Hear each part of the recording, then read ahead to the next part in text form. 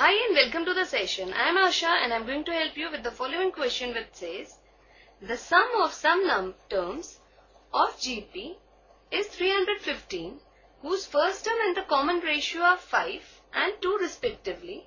Find the last term and the number of terms. Let's now begin with the solution and let the number of terms GP is equal to n. So we are given that sum of n terms is equal to 315 and also we are given that the first term that is denoted by small a is equal to 5 and the common ratio small r is equal to 2 which is greater than 1. And we have to find the value of n and the last term. Now as we know, sum of terms of a GP series is a into r raised to the power n minus 1 upon r minus 1. So on substituting the values, we have 315 is equal to 5 to 2 raised to the power n minus 1 on 2 minus 1 or 315 upon 5 is equal to 2 raised to the power n minus 1 or we have 63 is equal to 2 raised to the power n minus 1. So 2 raised to the power n is equal to 64 which can be written as 2 raised to the power 6.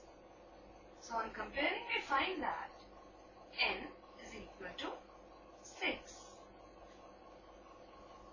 Now we have to find the last term.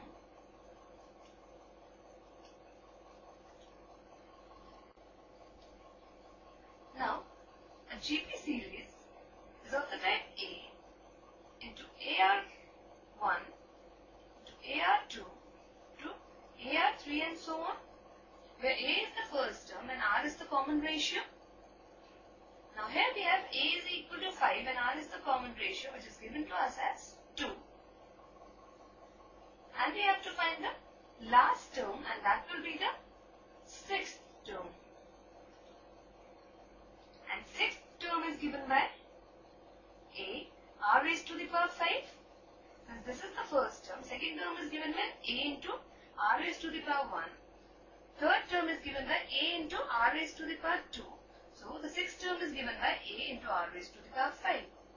So a is 5, r is 2, 2 raised to the power 5. So we have 5 into 32 which is equal to 160.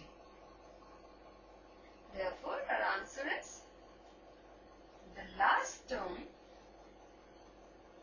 is equal to 160 and the value of n is 6. So this completes the solution. Take care and have a good day.